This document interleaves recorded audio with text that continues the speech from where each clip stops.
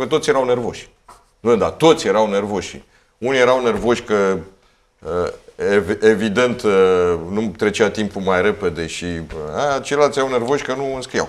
Laslo Dioseghi la telefon, bună seara! Bună seara! O, dar aveți o voce bucuroasă, așa, solară, după un asemenea final de meci. Da. Deci putem să spunem că ne-a lipsit 15 secunde ca să facem un lucru extraordinar. Deci vă dați seama din minutul 30 sau 35 mm. să, să jucăm în nou oameni și să facem un meci mare cu CFR sau, e ceva sau, extraordinar. Sau v-a lipsit un pic de inspirația lui Aganovic. Da.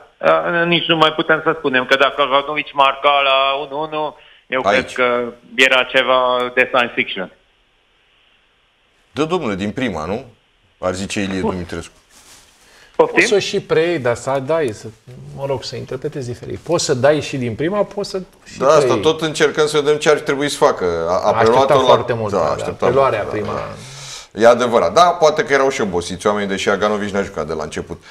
Meciul ăsta a avut două părți, domnul Dioseg. Odată, când a, în fine, cu cartonașele roșii pe care le-ați luat, aveți o problemă aici, vi se pare? Nu pot să spun că am o problemă, dar este un lucru destul de ciudat că în minutul 30 să joci în 9 oameni. Eu cred că cartonașele roșii au fost acordate puțin, puțin prematur, să spun așa. Deci, acum nu vreau eu să acuz arbitrajul, că eu nu sunt genul care să acuză arbitrajul, dar să dai un roșu e ok, dar să dai două în 30 de minute păi, și păi... n-a fost nici, dacă, dacă sunt meritate, asta e întrebarea. Dacă sunt meritate, poți dai și șase da, să oprește meciul. sunt meritate. Acum, acum puteți să spuneți dumneavoastră dacă au fost meritate sau nu. Uite, s-au fost meritate, stimați colegi, cartonașe okay. roșii. Al doilea, da. Al, Al doilea, doilea, clar meritat. La primul se poate discuta cine merita să ia cartonaș galben, Oroian sau uh, Roland Nagy. Dar, cum a spus Ilie Dar, Dumitrescu, dacă ai un galben, știi că ai luat un da. galben, fie că l-ai luat și pe nedrept, să zicem, acceptăm că l-ai fi, l-ai fi da. luat pe nedrept, nu te expui ca să le ieși pe al doilea. Și la interval de câteva minute, nu? Da. Asta, asta, asta e lipsă asta de experiență. Aici, aici mă gândeam că aveți o problemă în, în povestea asta, dar, în fine. Cum ziceți dumneavoastră, dacă, nu știu, vi se par că sunt nedrept date? Că asta e întrebarea. Vă întreb pe dumneavoastră. Nu, acum... eu nu am zis că sunt pe nedrept, dar uh, nu știu dacă a mai fost uh, anul ăsta vreun meci ca o echipă să fie 9 oameni din minutul 30. Deci, ok, dacă sunt cartonașe roșii meritate, atunci noi nu comentăm, dar cel puțin la Oroian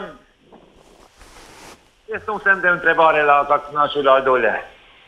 Nu, la al doilea nu e, la primul, după noi. Asta e La primul, dacă este identitatea lui. Dacă e Varga sau Oroian, că de da, fapt că asta a spus Ciobot, Denis Ciobotă, că ar fi În fine.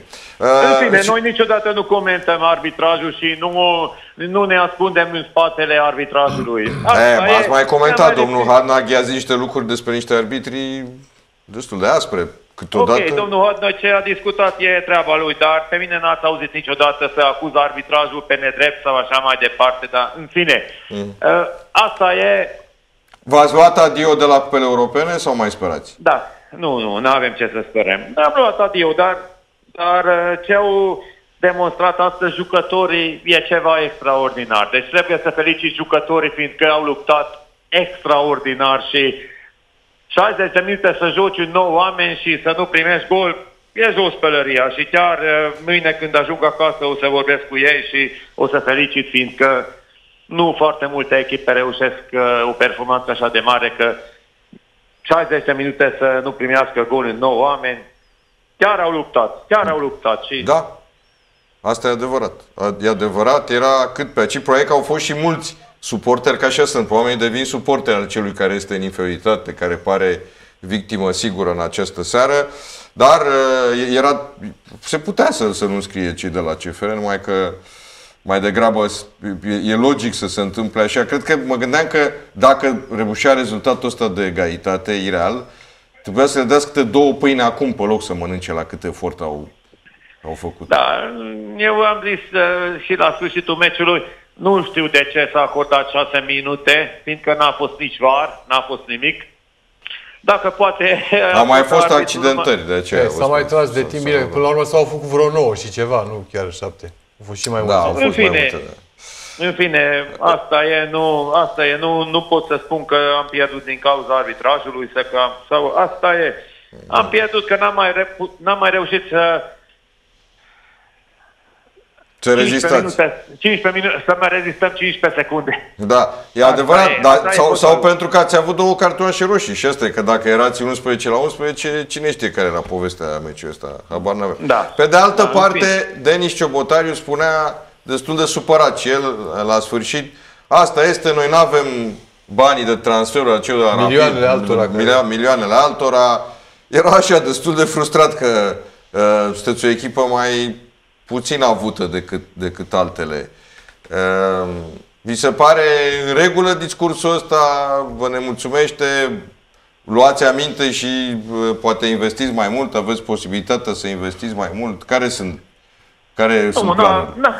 nu avem posibilitatea să investim mai mult. Deci eu am zis eh, întotdeauna că atât avem noi și nu avem cum. Deci noi nu mințim niciodată, nici suporterii și nici pe nimeni din România. Noi nu avem bani ca să investim, să aducem jucători cu 3-400 de mii de euro, cum a investit uh, Rapidul, de exemplu. Asta e. Cu ce pălărie avem, cu asta mergem mai departe. Dar esenția este că niciodată nu spunem lucruri neadevărate și asta e, mergem mai departe. Niciodată am spus, nu putem noi să vorbim de titlu, nu putem să vorbim de locul 2, 3. E un oraș de 50.000 de locuitori. Dar Eu cred până- că ceea ce am demonstrat noi în șapte ani este ceva nede- de nedescris. Până în sezonul acesta putea să vorbiți de niște sezoane reușite pentru că ați câștigat Cupa României. Hai că exact. n-ar trebui să vă Adică- propune și titlul. Totuși a câștigat Astra, care era reprezentanta unui domn, Și nu a unui oraș. Supercupa României. Cupa României și, și Supercupa. Și Supercupa. super. Supercupa. A câștigat uh, Urziceniu, care e tot așa, un oraș mic. A câștigat Care nu mai există. Vi- Orașul mai există încă. da, dar- viitorul care e așa, reprezentanța lui Hagi era acolo. Sau... Da, Urzicenul a câștigat, uh, știu foarte bine, și peste două luni de zile s-a desfințat. Noi nu vrem să avem soarta Urzicenului, noi vrem să mergem mai departe, chiar dacă putem să spunem că noi niciodată nu o să putem să aspirăm la titlu. Și asta am zis. Chiar dacă e dureros pentru mine și pentru toți din Sfântul George, dar trebuie să spunem lucrurile așa cum sunt. Dacă noi reușim să ajungem și anul viitor în play-off, este o mare performanță. Este o performanță mult mai mare decât PCSB câștigă campionatul României. Ah, interesant. După 9, 9 ani. După 9 ani. Um, aveți vreo ofertă pentru vreun jucător să-l vindeți? Că și asta e o sursă, evident, de venituri, să vinde jucători. Nu, nu avem nicio ofertă în momentul de față. Ștefănescu este un jucător interesant, sunt foarte multe lume care, între ghilimele, se interesează de aer, dar nimic concret. Dar dacă vine totuși patronul de la FCSB zice, uite, luați un milion de aici, că ok, mă interesează jucătorul ăsta. Ba, ce a fost, a fost, în fine, a trecut. Da, atunci, atunci eu o să zic, domnul Becari, eu sunt un secuit din ăla care, dacă spune ceva, niciodată nu se schimbă părerea. Dacă eu am zis că nu, se me- nu merge la Steaua nici pentru 10 milioane de euro, atunci, chiar dacă ș- poate o să fie sfârșitul clubului meu, dar uh, nu o să meargă la FCSB. Fiindcă onoarea noastră nu se poate cumpăra nimeni, nici când, pentru nimic. Se înregistrează, să știți ce a spus. Poate să registreze oricine și orice. Deci, puteți Nu, da, să dați seama va, că noi, eu, dacă eu vă vorbim înțeleg, de- domnul Diosif, realmente vă înțeleg, mai ales în contextul discuției, dar v-ați gândit că poate, într-un fel, influența și destinul jucătorului. Nu e vorba numai de, uh, de sepsi, de Da. club. Deci pentru jucători... suntem Da, în teoretic stare să facem vorbim, orice. evident. Dar în afară de FCSB. Fiindcă și jucătorul trebuie să-și dea seama că uh, onoarea noastră este mai presus de... Păi ce legătură decât are sport. jucătorul cu onoarea? Înseamnă că îl bănuiți de ceva? Nu, nu, nu, nu, nu, în niciun caz. Nu, nu, n-am zis așa ceva, dar știți foarte bine ce s-a vehiculat în presă și nu vrem nici măcar să fie nici 0,0,1% adevăr ceea ce... Am înțeles, S-a dar atunci discutat nu are despre- nicio vină în cazul ăsta, deci n-ar trebui să treacă Nu, pe nu are masă. nicio vină, dar sunt o mie 200 de echipe în afară de FCSB. De ce ar vrea să meargă la FCSB? Am înțeles. Bine, mulțumim, mulțumim domnul Dioseghi mare pentru, plăcere. pentru dialog. Seară bună, mulțumim. Cu mare plăcere, seară bună! La revedere.